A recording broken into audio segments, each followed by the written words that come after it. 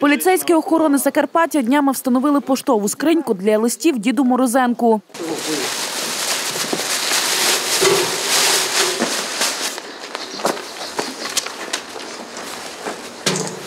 Герой нового року дід Морозенко залишив адмінбудівлі роти поліції охорони поштову скриньку і поставив завдання полісменам зібрати листи привітання для України на 2017 рік від наймолодших закарпатців.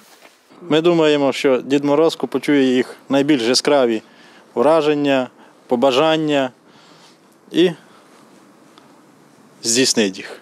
Також кожен охочий, хто має бажання, діточки, учні, сюди можуть до нас, скринька буде знаходитись у нас е, біля входу в адмінбудівлю роти поліції охорони, і кожен бажаючий може вкинути туди письмо, туди письмо із з побажаннями. Першими ж мали честь скинути свої мрії у чудотворну скриньку учні Ужгородської спеціалізованої школи інтернату та вихованці Чонодіївського будинку інтернату. Цього дня дітвора мали можливість взяти участь в екскурсії, яку з нагоди новорічних свят підготували для них правоохоронці. Під час заходу діти не тільки написали листи, а й побачили на власні очі, як проходять будні поліцейських охорони. Також малеча спробувала себе в ролі полісменів. Цікаво було е, там. Ми писали, які ми хочемо подарки на Новий рік.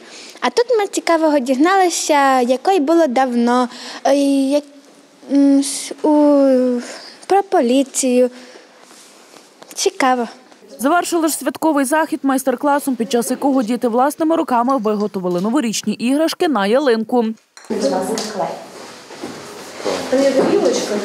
Кожен із дітей, хто вірить у диво та має щирі побажання для нашої батьківщини, може кинути у скриньку листа. А згодом Морозенко визначить краще і обов'язково нагородить дітвору. Тож не зволікайте.